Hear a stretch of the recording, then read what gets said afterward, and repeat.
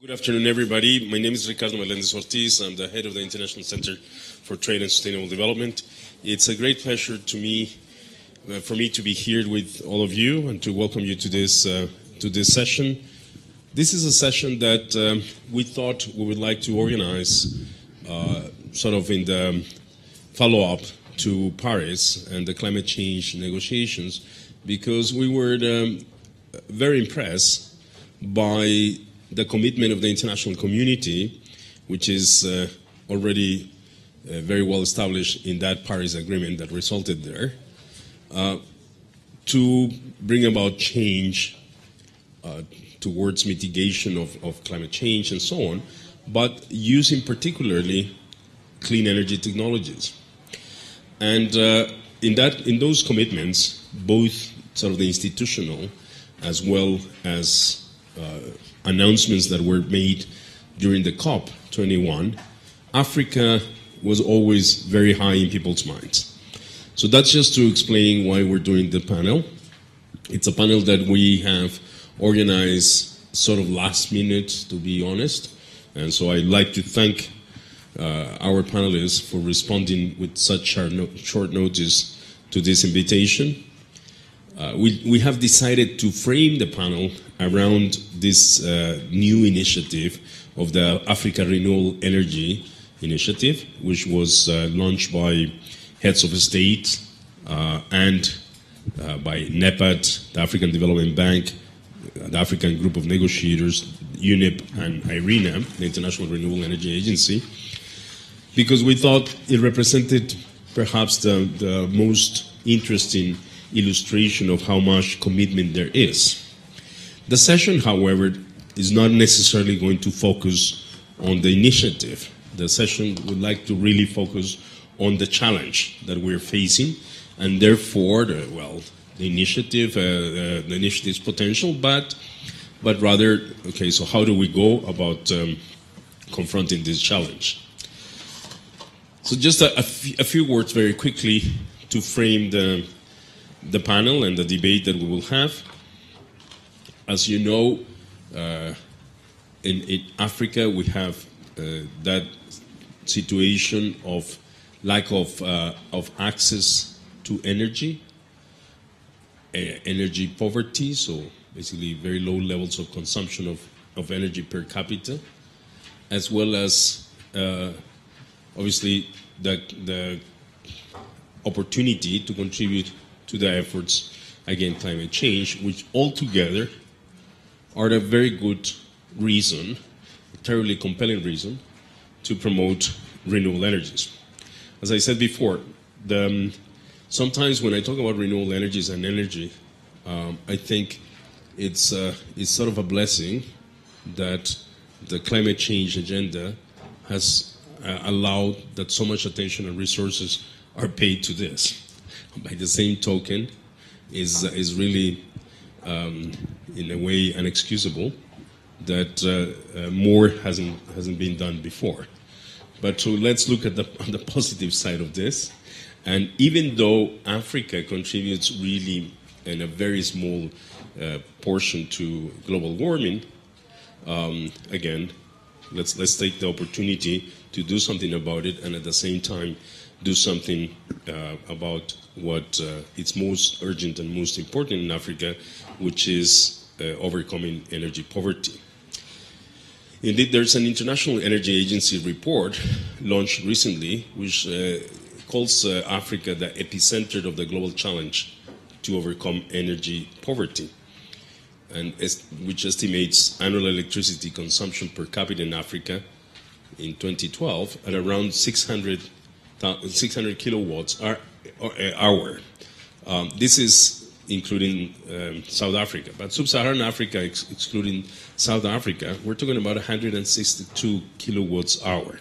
162 kilowatt hour, to put it in, in relative terms, to understand what it, that means, um, means that a Tanzanian, uh, in average, would take about eight years to consume as much as an American or a North American consumes in about a month.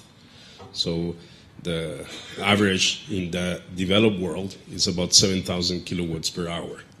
So you're talking about really a huge uh, difference in the consumption per capita, uh, and that's what we refer to as um, energy uh, poverty.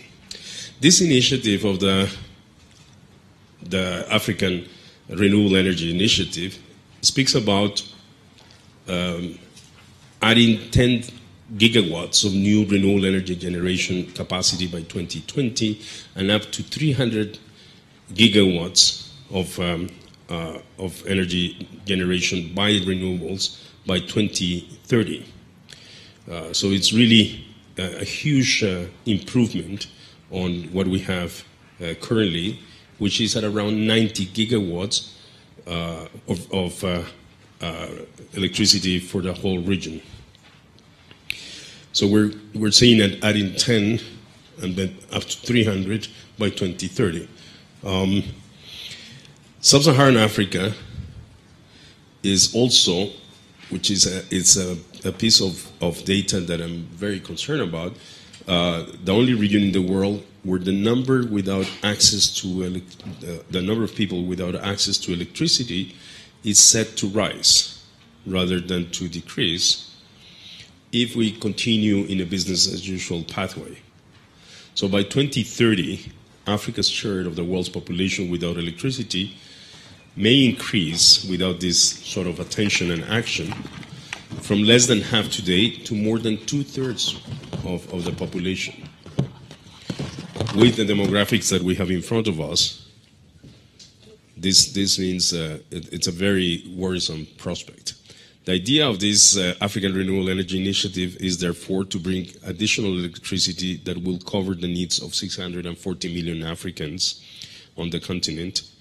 Uh, so again, that's a very good reason to pay attention to it.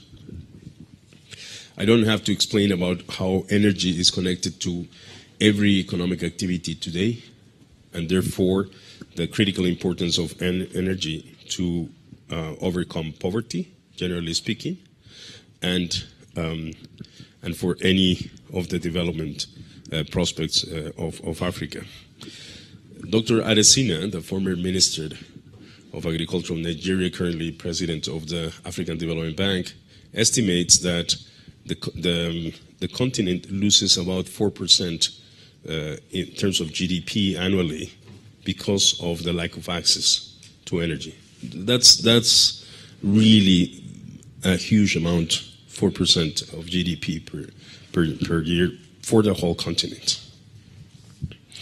So let's just uh, move to, to the panel. The, um, the reason we wanted to, to do this as well is because ICTSD has been uh, organizing uh, efforts in the past 10 years, more or less now, uh, to promote a scale up of renewable energies, and to do so by using the multilateral uh, framework on trade, but also other uh, in, uh, arrangements, other type of arrangements for trade and investment uh, in the world. So we have proposed what we call a sustainable energy trade uh, agreement. We have also proposed what we call a sustainable energy trade initiative, and, and have been working on this for a number of years where we have looked at the frameworks on trade and, and investment, look at the, how those policies have uh, uh, an impact on the possibilities of, of uh, this scale up. And we have made proposals to ensure that we have global markets that will, uh, will uh, deliver the needs that we have at the global level uh, in terms of renewable energy. Again, back to climate.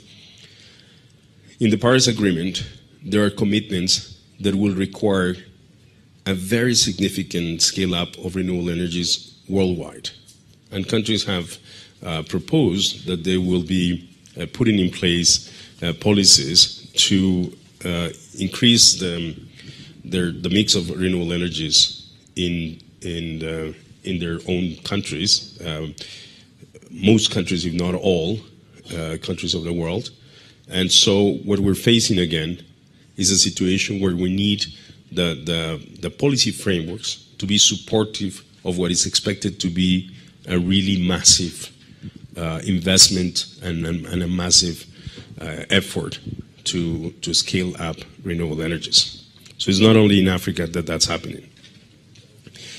Now, the, the good news for, for the region, in a way, is that as opposed to other parts of the world, um, and that's for very specific reasons, the, the cost of renewable energies, and um, specifically uh, when it comes to, uh, to solar photovoltaic, for, for example, is very competitive in this region. And it is very competitive. It's at 10 cents kilowatt, 10 cents of dollar kilowatt uh, worldwide, uh, which is expensive in most parts of the world. But in this region, it's competitive because the cost of, of generating electricity here uh, using fuel, particularly, is terribly high. So diesel generation is at about 30 cents per kilowatt, and in the Congo, for instance, is up to 90 cents uh, per kilowatt. So it's a so so in in those terms, the um, the proposal of scaling up um, renewable energies with the technologies that we have today, with the phenomenon that we had in the past few years, uh, where costs uh, have been uh, going down in a very significant manner, uh, it's very advantageous for the region. Last thing I mentioned is that one of the of the forms of renewable energy is hydro, uh, and that's counted as clean energy.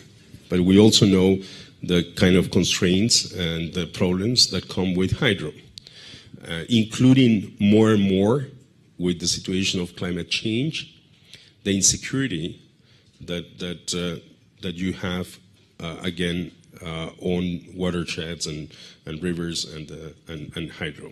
So you go through droughts and you go to uh, wetter seasons that are affecting already in many other regions in the world um, their reliance on hydro. And so, again, therefore, it's, it's very interesting now to have the opportunity to work with technologies that are more affordable.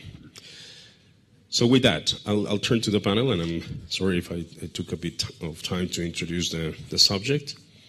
Um, we had expected to be joined by Minister uh, Wanat Katui uh, from Zambia, but I think she's she's late. Oh, she, okay, because she's she's at the at the conference center, and so so she may or not be able to join us. So should we start with you, Ingrid, perhaps? Okay. So we start with Ingrid, and then we go. Ingrid is the program manager of the program on climate change and energy at ICTSD, uh, and she's been working on these issues now for a number of years. Uh, she came uh, before from, uh, from the uh, Kommerskollegium in the National Board of Trade in Sweden, and um, um, and has focused, as I said before, on this uh, campaign that ICTSD has been leading on sustainable energy trade. So, Ingrid. Thank you very much, and good afternoon, everyone. Um, so I'll be presenting some findings from from uh, parts of the research that we have been conducting in, in ICTSD. In particular, we've been looking at um, how trade policy uh, can play a role for enhancing energy access in Africa. Um, as we heard uh, here in the introductory remarks, um, the, situation when it comes to energy access in, in Africa is, very serious um, 600, about 621 million people in Africa lack access to electricity, uh, of which sub-Saharan Africa alone accounts for uh, well the majority. Uh, the electrification rate for Africa as a whole in 2013 was 43%, and um, with only 26% in rural areas. Um, the electrification rate in sub-Saharan Africa was only 32% and only 17% in rural areas. Um, and four out of five rely on biomass for cooking, which is responsible for uh, as many as 600,000 people dying every year of household air pollution, half of them being children under the age of five. So this obviously uh, needs to be addressed urgently uh, for many reasons. As Ricardo mentioned, um, there can be no growth, no development without access to, to energy. Um, but there is also the, the, the, additional benefits of uh, moving to clean energy from um, the, the, health benefits uh, and so on. So the, the, good news is that in Africa there is an enormous potential for clean energy. Uh, expanding traditional grid is time consuming and very capital intensive process. Uh, and providing energy access to uh, rural and remote populations is particularly challenging. And this is why clean energy constitutes a, a valuable option because there are um, very interesting off-grid technologies available, which means that you, you don't have to expand the grid. Um, so these off-grid solutions include solar lamps, solar cooking stoves, but also uh, mini grids and so on. So a parallel can be drawn to uh, to, to, mobile phones. Um, before the mobile phones were available, people sometimes had to travel quite far to just make a simple phone call. And nowadays, thanks to the mobile phones, um, people actually have access to to uh, to phones very easily, and they were ma managed to leapfrog uh, the development. So a similar development can uh, be envisioned in the area of, of clean energy. so, um, looking at the trade angle of, clean energy, um, if we look at applied tariffs, so tariffs is um, the most tangible trade policy, and applied tariffs on solar panels are actually zero for most uh, sub-Saharan African countries. But exceptions include Mozambique applying a tariff of 7.5%, Cameroon 10%, Democratic Republic of Congo 10%, and Gabon 10%. Uh, there are also a few countries applying more, um, a bit lower tariffs. Ghana, Madagascar 5%, and Morocco 2.5%. Uh, there's one exception, which is Djibouti, um, applying uh, tariffs of 26% on solar panels. So overall, import-related costs could be further uh, reduced for those who apply higher tariffs. and just a, a, parallel could be drawn to, to most OECD countries, where uh, which um, import these goods duty free, thanks to the um, concessions under the Information Technology Agreement. Um, looking at technologies that are more uh, directly relevant for energy access, um, like uh, inputs into solar mini grid systems, well, here we see that the tariffs are actually even higher, ranging from 10 to 25 percent in most African countries. And the, that's the same. The case is the same for solar lamps, where applied tariffs also range between 10 and 25 percent. So if, if uh, tariffs is the most tangible trade policy and trade barrier, there are also a number of other policies that, that contribute to, to keeping the costs of these technologies high. Uh, non-tariff barriers, for instance, um, should be mentioned, but also taxes. There are taxes in many African countries that increase uh, the final product price. Um, and the price of the component used in solar systems, for instance, account for about 50% of the final product price. So a tax can actually make a quite a big difference. And what we have seen is that even when taxes are being uh, removed, uh, there is a um, communication gap, which means that the customs officials sometimes actually continue to, collect the tax. Looking at import of, energy access goods to Africa, we've seen that most solar portable light manufacturers are headquartered in Asia.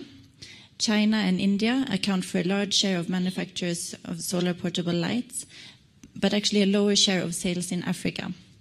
There is actually a, a strong north-south bias in trade, with 50% of the solar portable lights uh, coming from Europe, uh, North America, Australia, and Japan. And this can be explained by many factors. Um, one is um, the distance. There's a shorter uh, shipping distance, at least from Europe to many African countries. But there is also um, a quality consideration and, uh, and a perception that there is a higher quality of goods coming from, from those countries.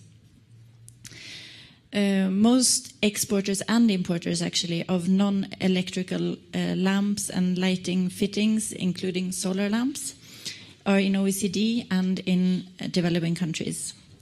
Uh, and the same is the case for um, PV cells and modules, mo where most importers are in the OECD and, and large emerging economies.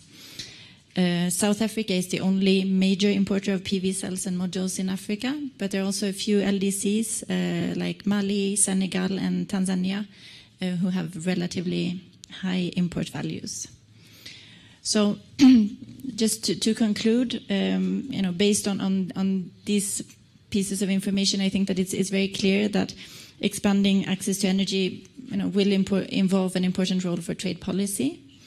Um, but it would need to be uh, it would need to go beyond addressing tariffs and also uh, addressing non-tariff barriers, um, taxes, and so on.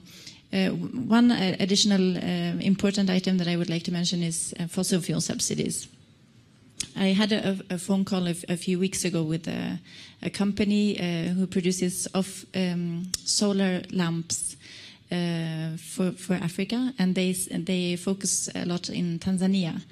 Uh, and they said that they had done these uh, market studies and market surveys of other countries with similar conditions and similar climatic conditions and so on. But they have been unable to uh, really position themselves in the markets of many countries because these countries subsidize kerosene lamps. So fossil fuel subsidies really um, plays a role as well.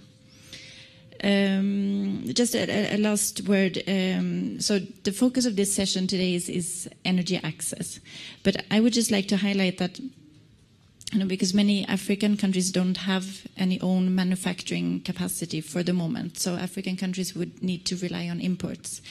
Um, but actually, importing uh, the goods uh, comes with generating domestic jobs because many of the of the renewable energy uh, technologies, the clean energy technologies, uh, they they include a large chunk of services for installation, maintenance, operation, and so on. And most of most of these services uh, actually need to be sourced locally. So I think that there's a, a, a triple opportunity here to uh, using trade policy to um, to enhance energy access, and with that would come, you know, the benefits of improved health, growth, uh, development, and so on. But it would also um, be possibly stimulate the generation of local jobs, and it goes without saying to contribute to addressing climate change. Thank you. Well, thank you, Ingrid. That's um, a very good overview of the issue and the challenges and uh, that are um, that are faced in, in Africa. Um, it's also a good introduction of why trade policy and the frameworks uh, matter. Uh, so let me, with that, turn um, quickly then to Eugene Jernigan, and Eugene is the trade and development leader at um, Action Green for Trade and Sustainable Development in Kenya. Uh, and I understand you also work on regional integration and trade. So, Eugene. Thank you. Uh, thank you. Uh, thank you, ICTSD, for inviting me. Uh, I really appreciate. Uh, I also want to mention that uh, I work also for CUTS International.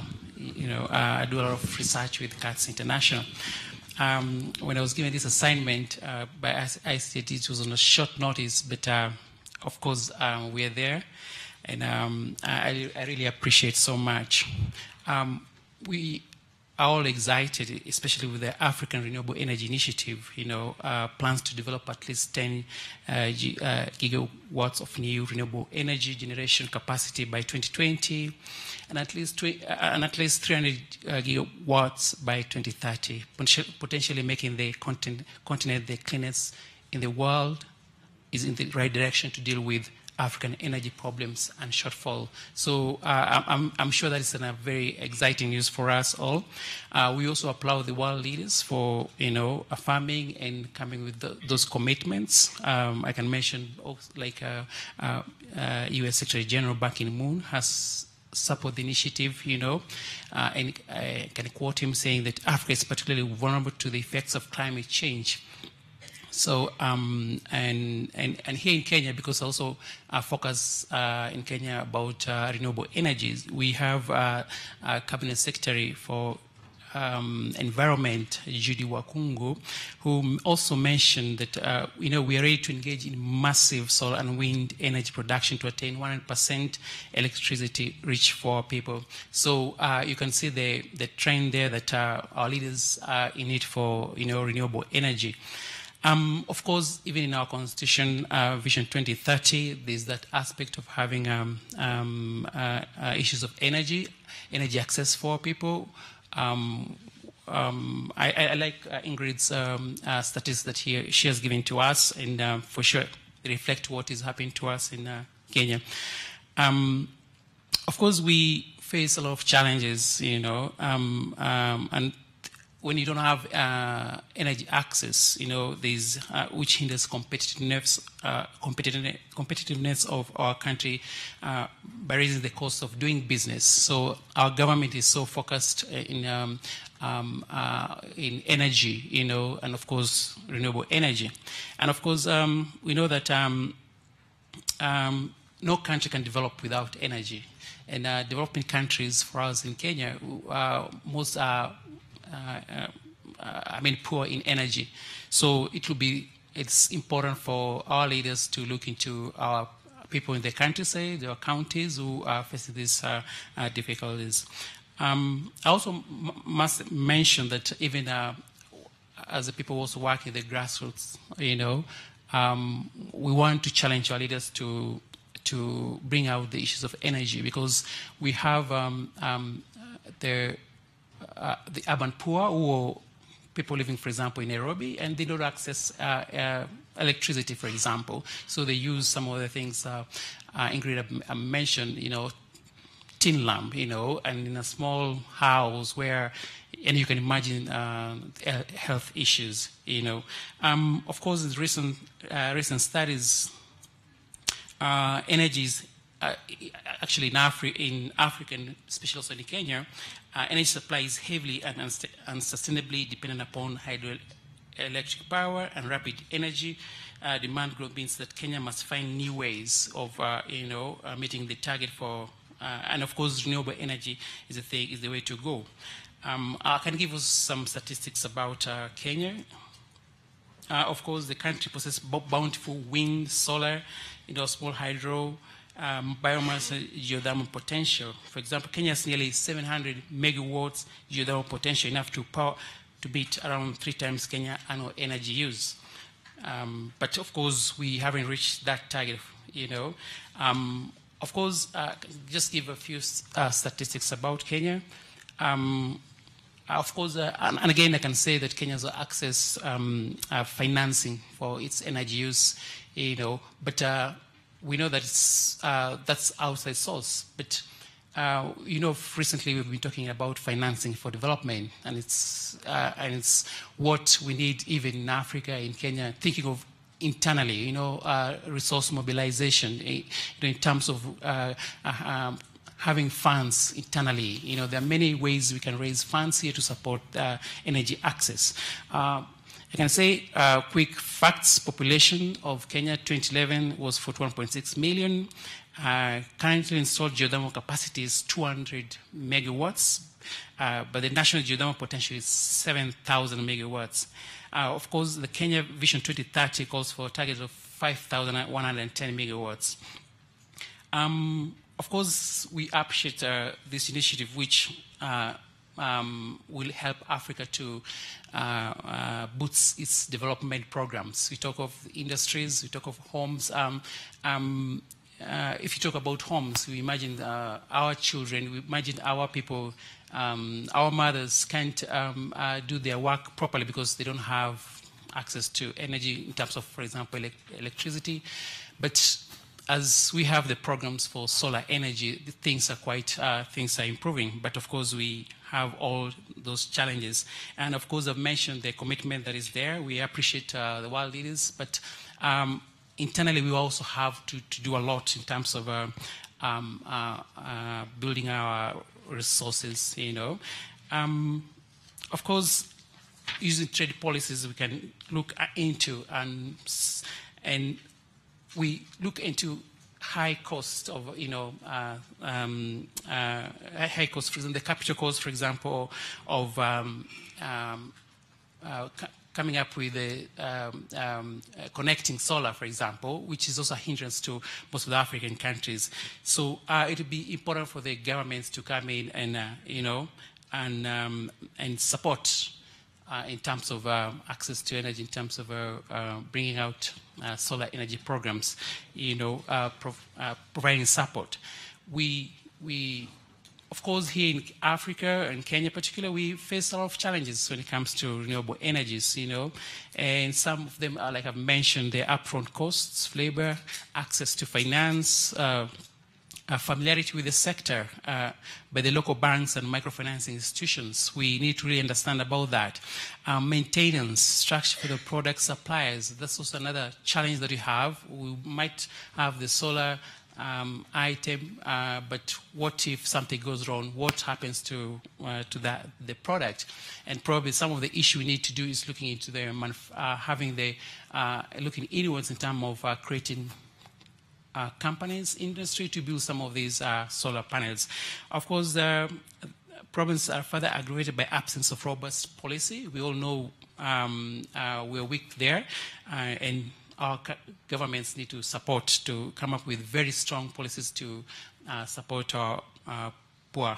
You know, um, Ingrid has mentioned about taxation. We also looked into that. Um, I, I, must at this point also mention that uh, the study also, I was looking at the study by ICTSD because some of this, what I'm trying to mention is what I, I, I did some study from ICTSD. So uh, I'm grateful, you know, um, for that uh, thing. And to go uh, forward, we also look of non-trade uh, issues, and the first step is uh, awareness creation.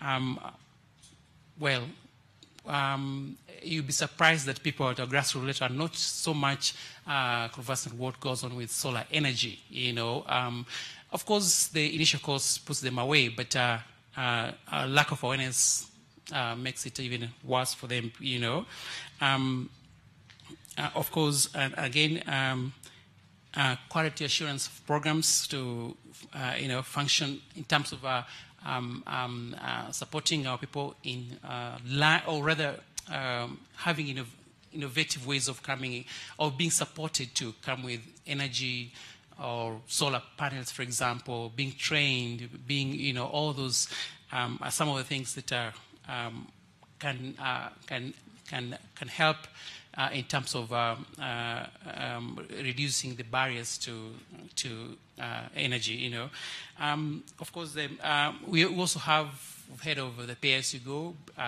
Um, of course, uh, she's mentioned about even the uh, program we have, the M-Pesa, where you, has connected with other companies in terms of producing energy where you pay and all that.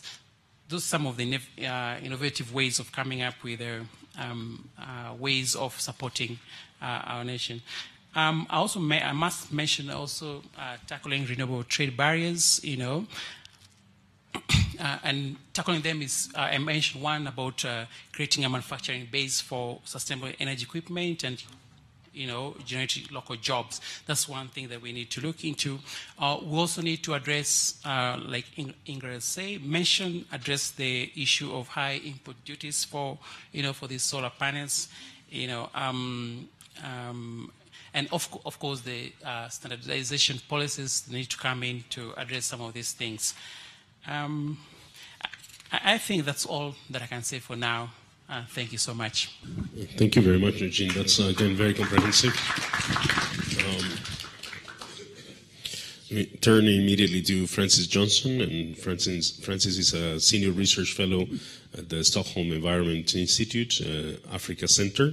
A lot of um, interregional and international uh, uh, trade aspects that play a pretty valuable role um, when it comes to to facilitating the the uptake of of renewables and also creating the technology platforms and, and the infrastructure and the institutional capacity. Um, so we find some some interesting linkages here in this in this shift to clean energy and, and climate compatible uh, development pathways. It's a big set of, of issue with wide scope um, because it includes, uh, I think, as as uh, Ingrid was mentioning, it includes also all these goods and services and supporting aspects that go with renewable energy. It's obviously not just about trade uh, or when energy crosses borders.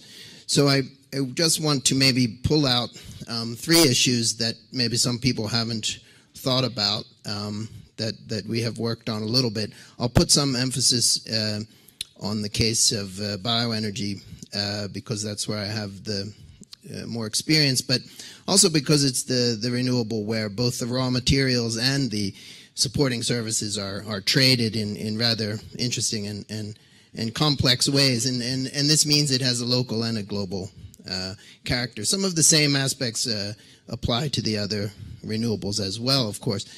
Um, the first um, uh, aspect I wanted to point out is that with with renewables, and, and here I don't mean large hydro, I mean the, the new renewables, the smaller smaller scale renewables. Uh, there's a sort of chicken and egg problem in, in various ways because when it comes to attracting investment and trade, we see there's this great there's this great potential in in uh, sub-Saharan Africa and well in, in, in Africa as a whole for for renewables. Um, but of course, that's on the supply side. And the question is, how do you articulate demand um, when you have very low uh, grid access? And even in places where there is uh, grid, you have you have reliability issues. So how do you get businesses and, and households to to sort of art- articulate that demand and, and grow the grow these markets? Um, and how to how to do this? Of course, uh, there's there's a number of different ways, but I thought it's useful to highlight certain industries that can that can maybe move beyond this problem. And the, the agro industries are very interesting because they um, uh, they create this linkage between agricultural development and, and industrial development. Um, and at the same time, they actually bring along their, their own energy in the form of uh, residues. And, and this um, sort of solves the demand and supply problem um, at the same time, which is very interesting. And we're seeing industries like for example, sugarcane or palm oil, and there's quite a few others where um, you can you can benefit from this. So it's an interesting example of maybe solving this chicken and egg problem as you ramp up uh, energy supply and demand. And the second um, aspect I would like to point out is what is actually the reality of renewable energy trade in Africa today? And um, one question which might arise is what's the biggest area of renewable energy trade now? It's not so easy to calculate this, and I haven't actually calculated it, but I suspect it's actually um, charcoal, which people might not think of renewable energy, but it is renewable. Um, of course, it's not necessarily sustainable. And how to deal with this problem is, is a very significant issue um, because it's expanding quite rapidly, and the the impacts um, can be quite significant in terms of um, uh, land degradation, and with population growth and, and urbanization, uh, the demand is really outstripping the supply. So, how to move um, this sector of demand into other fuels, cleaner fuels, um, or uh, at the same time, maybe to make this uh, uh, class of renewables more more sustainable, which can be done through through certification and, and other uh, schemes. But of course, much of the trade in charcoal is, is illegal. Um, and so we don't really even know how big it is in the first place. But if it was uh, better regulated and, and better supporting policies, there would also be, be benefits in the form of um, tax revenue and, and, and so on. Um, and it does supply an incredible number of livelihoods. Literally, millions of jobs depend on it. Although the benefits are not necessarily so so well distributed. Um, and of course, the situation is that you have people living in urban and peri-urban areas. They have no other option. So um, where there is no grid and maybe no LPG and no um, no other renewables like like biogas or, or bioethanol that might be readily available. So how to regulate this market and make the trade more sustainable? I think it might be the elephant in the room in, in certain respects uh, when it comes to to um, expanding renewables in in uh, in Africa. A third um, aspect I'd like to point out is that when we look at renewable energy expansion and trade, particularly after the recent uh, agreement in Paris, there's a tendency to think, um, oh, the most important thing here is is climate mitigation. Um, but of course, uh, here uh, in a continent where where development and, and, energy access and related issues are so important, um, of course, the relevance is is different, and in some cases goes goes deeper. And I can mention a few aspects of this um, relation, which you might call co-benefits or, or disbenefits in some cases.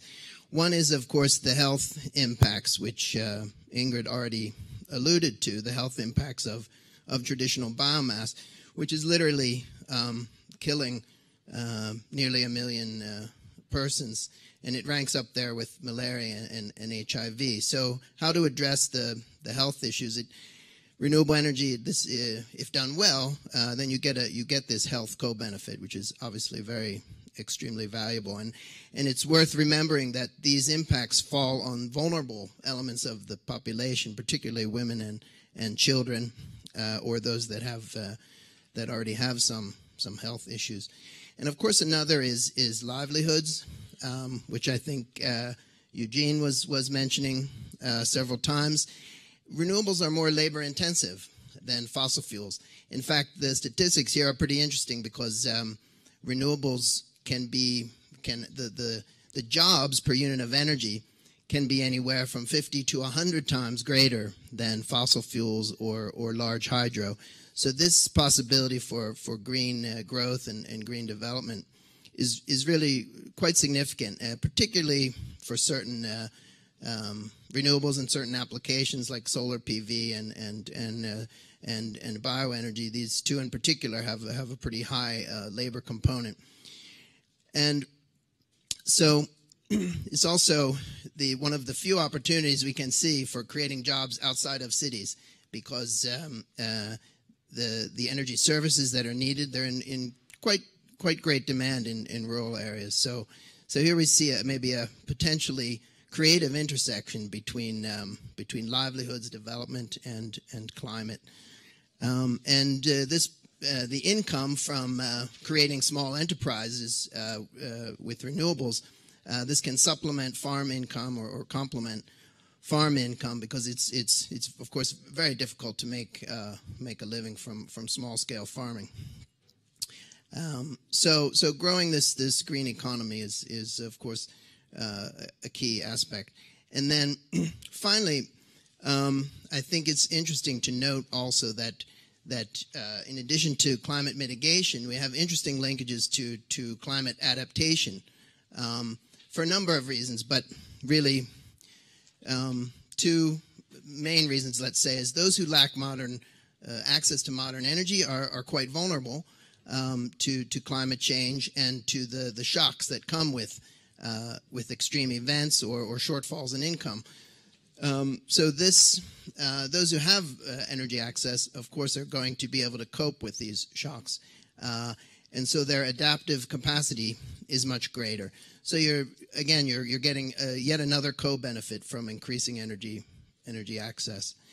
Uh, it's not just about mitigation when it comes to to renewables and Another is that the, with the changing climate, you have some renewables that are, are affected both negatively and positively. Um, I think Ricardo mentioned the case of hydro, which hydro in some areas with uh, in, in, in dry dry years, the, the capacity will be reduced. Uh, similar problem happens with with uh, biomass that uh, with less rainfall, then then the productivity will be lower. And here you see an interesting role for for trade because um, since this is a geographical effect, in fact, these two might be correlated. Let's say hydro and biomass. However, by by trading with another region, let's say trading biomass or perhaps trading across the electricity grid, if it's once it's better developed, then you can hedge against this. Um, this problem of, of vulnerability to, to climate change in the in the energy system. Um, and so again, it's a case where, where adaptation has to be considered as, as well as mitigation. Um, so those were just really a few um, key aspects. There's, of course, there are many other um, issues, but uh, we, we see a new role emerging for, for renewables, and um, I think the off-grid solutions um, have to be considered, as, as uh, Ingrid was mentioning also, because there's just no way to scale up from from 20 or 25 percent grid to 100 percent grid in a short period of time. It's not going to happen. So, um, so exploring these other solutions in the next five to 10 years uh, and looking for this package of co-benefits, not just mitigation or, or not just uh, um, health, but looking at the whole package is, is going to, to make the case. So, thanks. Thank, thank you, Francis. Um, I think uh, I also want to thank you for bringing to the table a number of issues I wasn't aware of and I find fascinating uh, on, on, charcoal, as well as the, the question of biomass and how um, you have vulnerabilities there that uh, could be, as you said, hedged with, uh, through trade.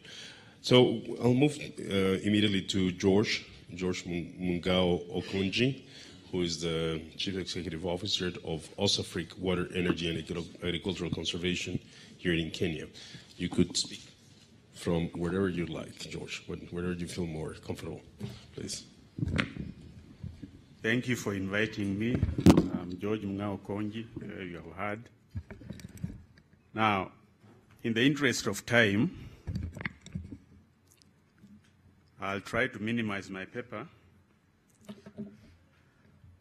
Africa is the continent least responsible for climate change and most vulnerable to its impact. As global warming increases, extreme events like floods and droughts are likely to become more severe. Sea level rise will hit Africa, African coasts hard. Agricultural and fisheries productivity will diminish, and the number of undernourished people will increase. Those most vulnerable to climate change and poverty will become more even vulnerable. In this context, adaptation measures and early warning systems will be decisive for the continent's adaptive capacity and funding to implement these measures and systems will be critical. In fact, warming limited to below 2 degrees Celsius still implies major adaptation cost for Africa. According to the 2010 World Bank report and to the 2013 African Adaptation Gap report, due to existing and unavail uh, unavailable climate change, adaptation costs will amount to seven, between 7 and 15 billion US dollars a year by the year 2020 and will reach 1% of, Africa's GDP even if global warming stays below 2 uh, degrees uh, Celsius, based on the current emission trend, 4, uh, 4, 4 degrees Celsius, adaptation cost will scale up and reach 50 billion US dollar a year by 2050, and 4% of African GDP by 2021, whatever. Without adaptation measures, the costs and permanent loss and damage will be much higher. At the same time, access to basic energy services remains a challenge for many African countries, impeding their development prospects and opportunities to lift their people out of poverty.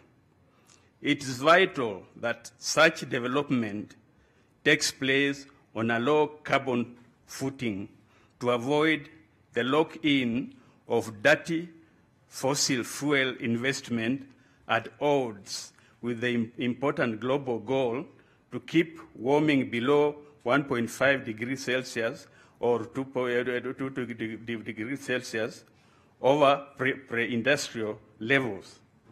According to AFDB, the costs of putting Africa on a low carbon growth path will grow the longer we wait and could reach 52 between 52 to 68 billion US dollars by the year 2030 on top of the existing other challenges to eradicate poverty and provide basic services to many Africans such as health services, education, and infra infrastructure.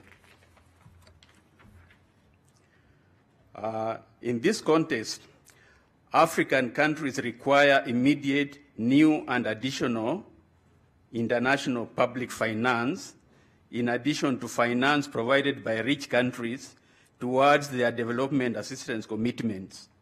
Private finance will not meet the need for adaptation as these activities do not offer high returns on investment and on a principled level, they are induced by developed country pollution investors and would be inappropriate in any case. Public finance is also needed to attract finance mitigation in less developed market to secure clean energy access to the poor. Now, to accelerate the energy transfor- transformation, uh, we need to support renewable energy and energy efficiency in Africa. Africa, African countries faces enormous development challenges that are of primary concern. Increasing energy production and enhancing access to electricity and off-grid sources of energy is at the core of these challenges and is an imperative looking at the energy crisis the continent now faces. 70% of the population in Africa still does not have access to modern energy services that are efficient, reliable, and improve food preservation and transformation, vaccination, access to education, and health services. African states continue to rely heavily on fuels that are becoming more and more expensive for governments and households as prices and demands are skyrocketing. In addressing climate change mitigation and economic uh, prosperity, the challenge is to ensure this expansion of energy source, sources can be, can be made to the, uh, to the extent possible and in sustainable and accessible manner. This is why the United Nations is dedicating the coming de de decade to sustainable energy access. By 2030, renewable energy and energy efficiency must double and all people must have sustainable access to energy. This goal is achievable. There are more and more national and regional programs supporting renewable and energy efficient solutions.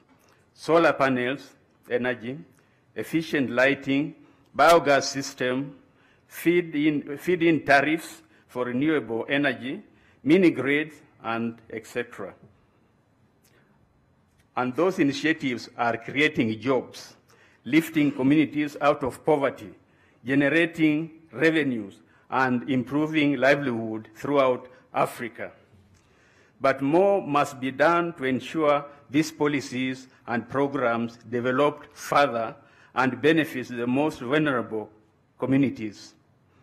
African governments can and must lead the international community into a 100% renewable future, including by taking the following steps.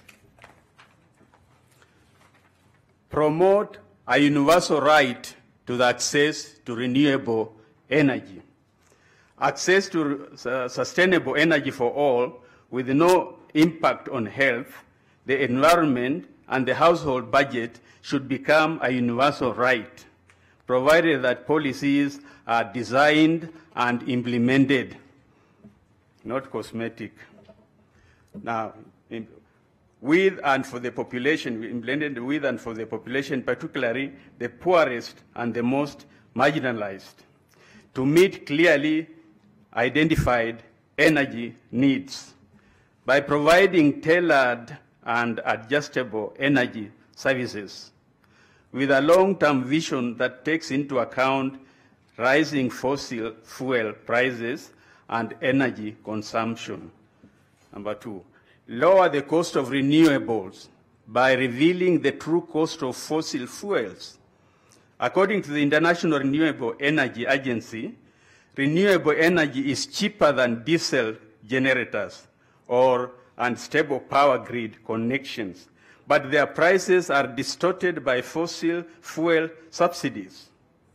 These subsidies could be used to incentivize the deployment of renewable energy if and only if policies and local development plans improve, improve transparency on public energy expenses, and budget as a first step towards a climate friendly and pro poor subsidy reform.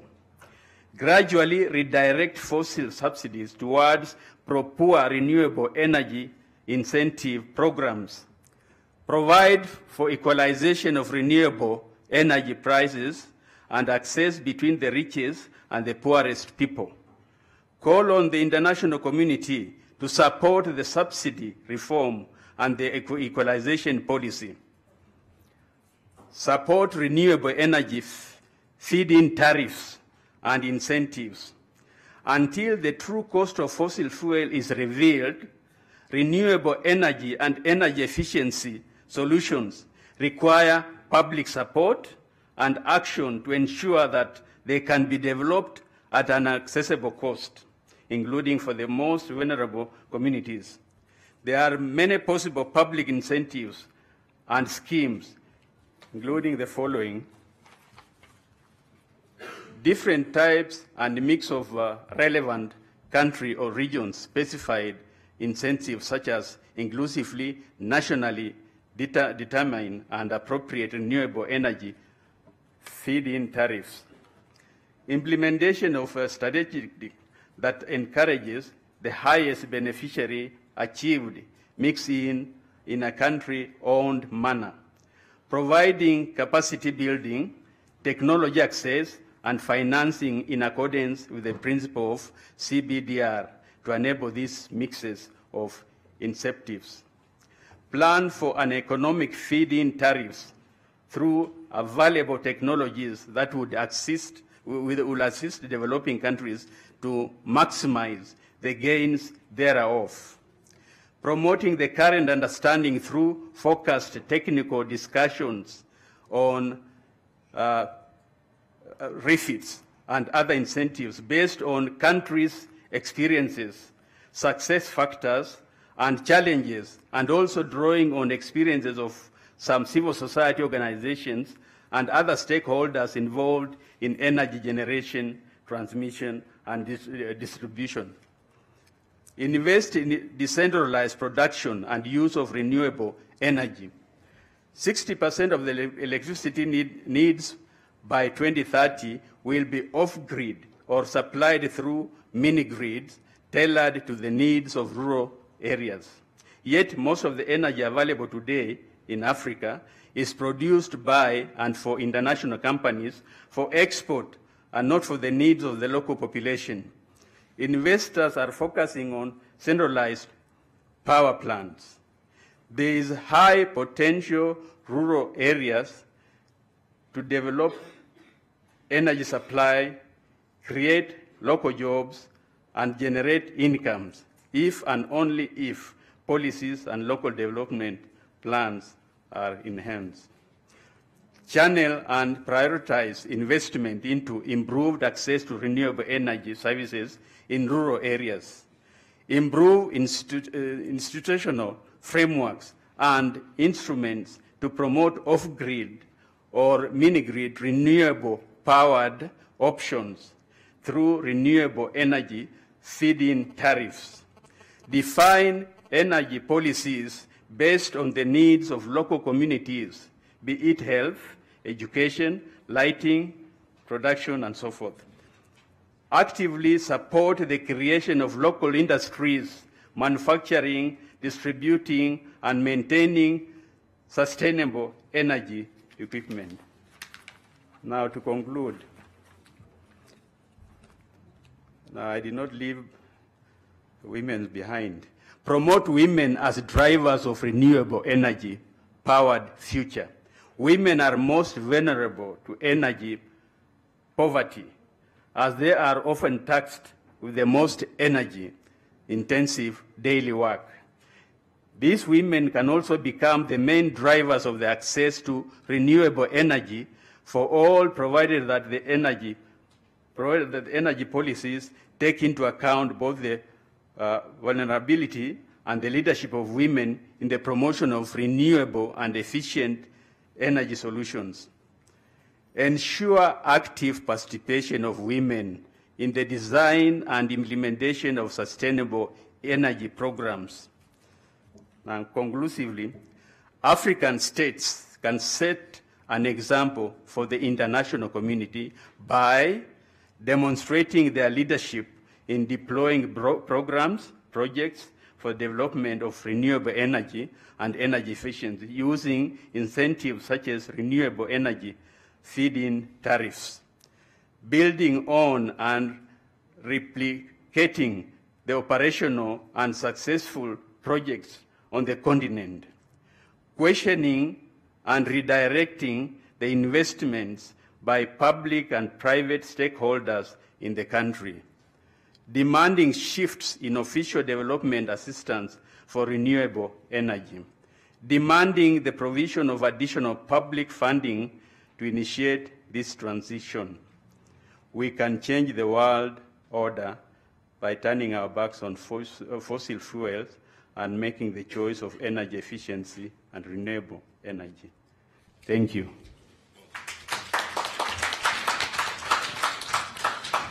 Thank you very much, uh, George. That, that's um, a good comprehensive uh, plan of action. Uh, so let me, we have about 10 minutes. Uh, let me turn to, to the public first, and then I'll come back to the panel to see if there are some comments that you'd like to exchange um, on the various um, views that we have heard. So if um, I could ask you to please identify yourselves before asking the question. Uh, let me start maybe here. Please. Um, I'm Wei from Van Balanbellis, and Ingrid mentioned one example. Um, a solar energy producer in Tanzania couldn't uh, couldn't compete with uh, um, uh, with the fossil fuel light uh, manufacturers in uh, Africa, and um, this because. Uh, because of the fossil fuel subsidies, two solutions is available. First is to remove the uh, subsidy, fossil fuel subsidy, and the second is to finance providing renewable incentives for the renewable energy light producers. And this um, this is quite obvious, and also uh, at international uh, at international level, there is quite a lot climate funds, green climate funds, and then can be channeled to support such initiatives.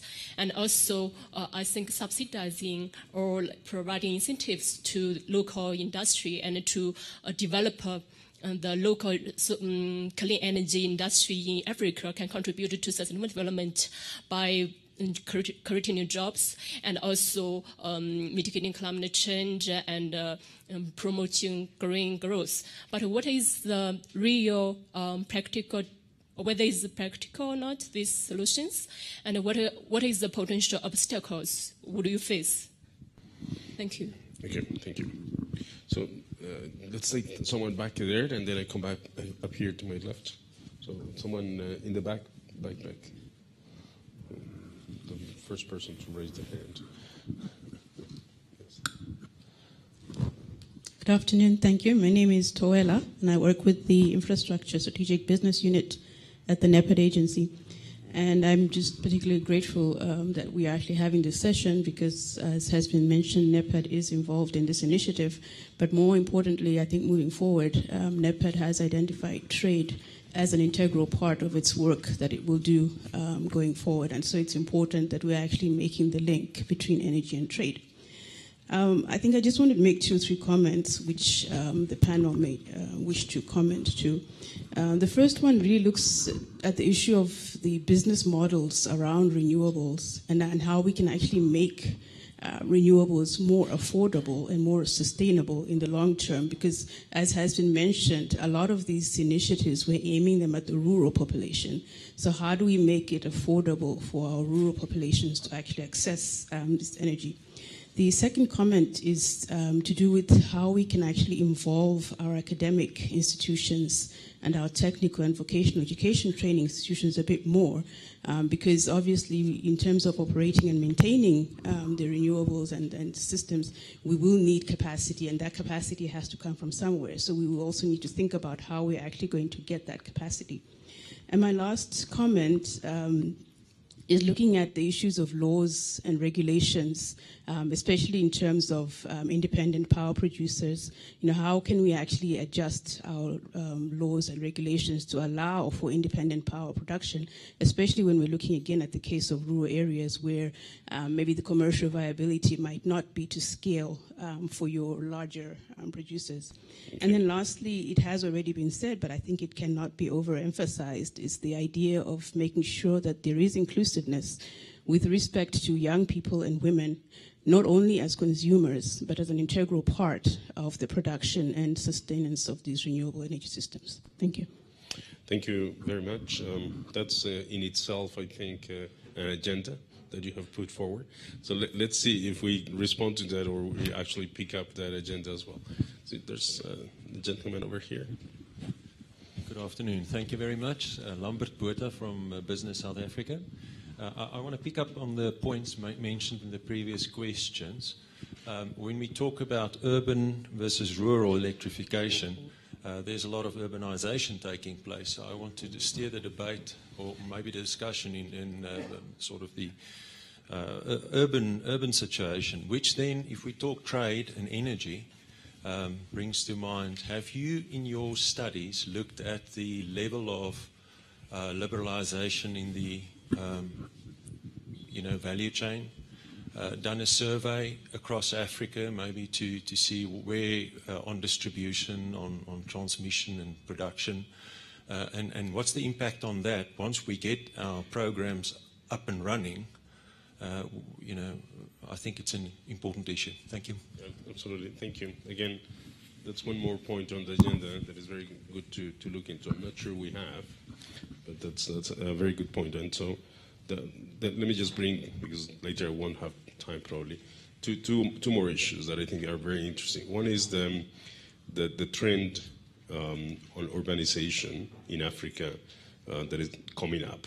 And, uh, and then, as you say, uh, any solutions uh, on energy, these are more or less 30 year investments. Uh, it, is, it is durable infrastructure. They have to think about the distribution of the population in that time. And so, uh, so we have to think about those issues. The other issue that just comes to my mind listening to you is uh, we're talking about on-grid as well as off-grid solutions and so on. But the, the, the, we know also that sourcing of renewable energy may require uh, interconnection, so connecting the grid in Africa, and that's another big challenge. Uh, it's a big piece of infrastructure that maybe our friend from NEPAD is also well aware of. So over here, when we come, the, the, the young lady in front of me is very willing to speak, and then we go in the back. Yes, please. Um, hello, my name is Bilha. I'm an industrial chemist. First, I want to commend the, the program on solar energy. I have seen it being used in my where I come from, upcountry in the rural areas. Now, my question is, um, it's pointed towards Eugene, George, and Francis. It's about human excreta as a source of energy. Um, I have done a bit of lab, lab research on it, and I've discovered that as as as a fertilizer, it's very it's very it's very good because it even it competes with cow dung, and then also human excreta can be used to make biogas, and also the biogas from human excreta can be used to produce electricity by using by use of turbines. Since Kenya and many African countries are facing a lot of, many people are struggling, many people are in poverty. Has it, have you thought about it or has it been discussed in any forum? Thank you. Again, thank you very much for bringing that. Um, I can tell you that in, in Paris there was also a bit of discussion on this, and there, there are people that are uh, focusing on developing those solutions at a large scale as well. Just in the in the back, and, and what I'm thinking, looking at the time, is that I, I will privilege taking the comments and the questions rather than coming back to the to the panel. But I'll try to make sure we have a, a minute at least. But please. Thank you so much. My name is Joseph. I come from Data Center Trading and Consultants here in Nairobi. Okay, the presentations are so good. I like them. Um, I only want to find out something because uh, much of the questions have been asked. Um, I've come last. Um, uh, much of the presentations, as I've been listening, they are skewed towards uh, making a proposal on what we have to do, what should be done actually to to redeem maybe our climate or maybe the energy, uh, or maybe to have sustainable energy in the country. Uh, I just wanted to know how far Kenya has gone. Okay, now that I want to begin with my own region, Kenya as a country on um, renewable energy, how far are we? Are we just talking, or is when we are beginning? I wanted to get a point there, or maybe I delayed outside and I didn't get it. Please emphasize I, I want to get it. Uh, that one actually is also boiling down to the issue of implementation on the side of renewable energy. You'll one day hear, like we visit the ASK shows here and there, you find there's biogas here, somebody has invented. You find here somebody has this kind of energy here and there. So you find that I don't know if there's any policy or uh, there's a way that we we can come up so that we have these people centralized together or through maybe the ministry, we bring them together so that we can benefit this knowledge and uh, maybe it will be cheaper than what we are putting on table. And two, and finally, I want, um, as much as we are trying to escape this area of uh, the fuel, that's petrol, uh, it's still on market. We are still using it. And I just wanted to know something about the pricing. Is OPEC still in force or is still is not in force? And uh, to what level? Does it control actually all the prices up to the consumer or it just controls up to the country level?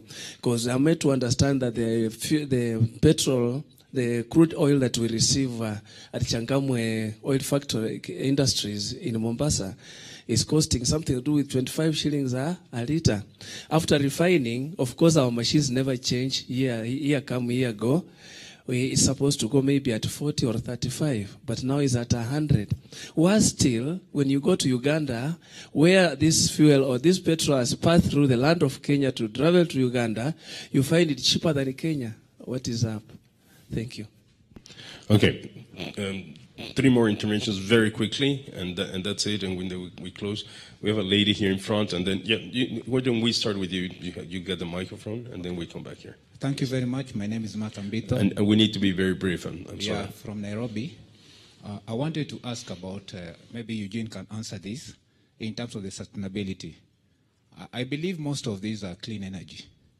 The drive is normally focused towards donor funding. We have not made the government to own it like Asia, where you see that a country like India and China, the government is the one which is really pushing.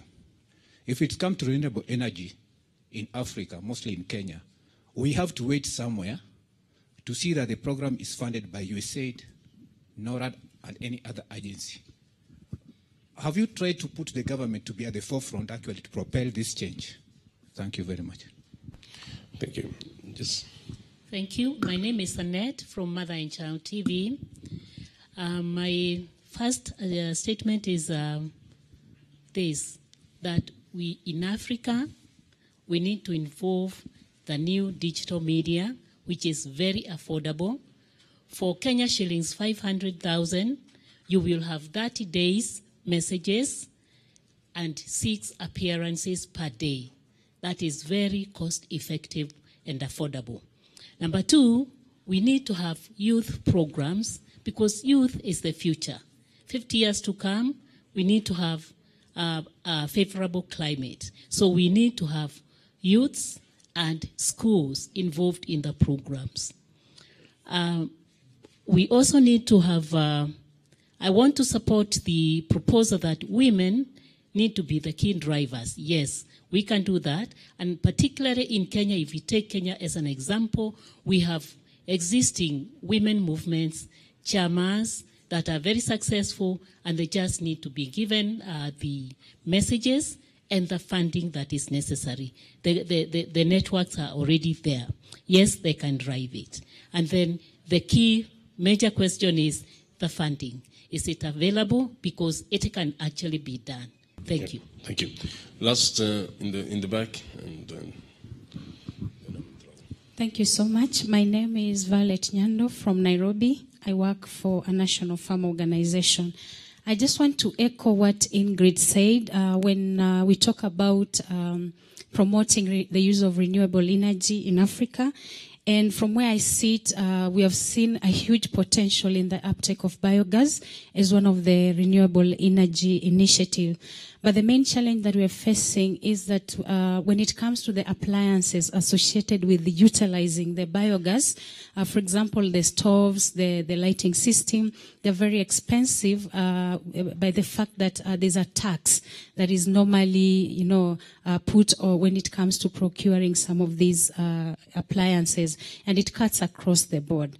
Uh, even industries that are engaged in cogeneration of uh, energy uh, for purposes of reducing the consumption of electricity at their operational level, you realize that again, uh, they, they're facing a lot of challenges when it comes to taxes that are being imposed on appliances associated with this. So looking at the climate, energy and development nexus, I think at the WTO, we can actually advise so that we have uh, tax concession or exemption when it comes to importing the appliances that support the utilization of renewable energy. And then number two, still in the spirit of discussing the relationship between climate and development and trade, uh, indeed we can advise the WTO to sit together with the, uh, the people who are engaged in uh, financing climate to see how best we can incorporate these uh, the, the, the people who are using renewable energy in the processes of paying for environmental services. It can be part of the initiative that they can take so that we appreciate and motivate them as they engage in, you know, utilizing renewable energy. They can be part of the people who are paid through the payment for environment services. And then lastly, I want to echo what my sister from NEPAD said. Uh, we cannot uh, overemphasize uh, the training and education institutions because we want to have institutions and human resource base that can actually maintain these appliances because after installation, we know we need to have also maintenance services and we also have to, uh, we need to have technicians and people who can actually now carry forward or train people more on the use of um, uh, renewable energy. So again, within that uh, framework, we can push for support towards training institutions that support uh, renewable energy use. Thank you so much. Okay, thank you, thank you very much. Um, I think we, we made a mistake thinking that we could run this uh, session with such short time. Uh, I think most of the comments and questions, because most of them were the sort of comments disguised as questions, which is fine. Uh, add very much to the information that we had from the panel, really. Uh, and uh, but so let, let me ask in any case the panelists to take really about one minute to choose one uh, or two of the questions that have been asked and just very telegraphically uh, respond to them. And I'll start with Eugene. Thank you so much. Um, I think much has been said out there with the participants, and uh, I don't think I can much. I like the issues of uh, institution of higher learning, but probably I also mention about um, I should talk about the human excrete um, biogas. You know, uh, getting biogas from human excrete. Um, for me. Um, probably I have more challenges when it comes to that because of um, um, uh, of health issues. But um, I agree. I mean, it's something that can be worked upon. But I, agree with some of the comments that have been made in the, the center. Thank you. Ingrid? Sorry. sorry. Uh, okay, so I I would like to say a few words about the, the, the question about uh, value chain analysis, because uh, that's actually something that we are um, undertaking right now in ICTSD. Uh, so we're looking at value chains in the clean energy sector, and we have some preliminary findings. Um, but just to, mention very briefly that a, windmill, for instance, it, consists of 8,000 components. And they are produced, manufactured in many different countries, and so th these are many components that cross many borders before they end up in a final windmill. And then, uh, as I mentioned um, earlier, a windmill also um, consists of up to 50% of services, for instance. So, uh, so, I, so the good news is that uh, when there are trade uh, reform um, efforts undertaken elsewhere than in Africa, that actually contributes to reducing the cost of the final good. So even if there's an import tariff in, in, into the African country, um, the, the, um, the African countries will actually actually benefit from efforts being, being undertaken elsewhere. Having said that, I mean, with the, with the import tariffs of 15, 20 percent, uh, that makes a huge difference as well. Thank you. Thank you, Ingrid. Uh, George. Uh, thank you. Uh, I'll talk of uh, the proposal of uh, human extraction. Uh, let me inform you that uh, there is a study, an ongoing study for the biomass production of uh, uh renewable energy using that stuff and cow dung. Uh, I don't know up to what stage is the study, but there's a study going on. Thank you. And uh, Francis? Yes, thanks. Uh, on on this issue, I don't work on this topic, but I have some colleagues that have worked on it, so I can give you their contact info afterwards if you like on this topic of using uh, human waste. When it comes to, I just want to comment on energy access in rural areas because um, uh, it's there's a lot of cultural issues wrapped up in this as well. Now, I'm not I'm not uh, born here in Africa, even though I live here now, but I can just make the observation that it's not necessary to follow the model that uh, Western countries have followed, uh, the, where the countryside is depopulated and everyone moves to cities. Um, it, it, would be very nice to have a model uh, where agriculture and renewable energy go together. And we're seeing some examples where this can work. Of course, it's not easy.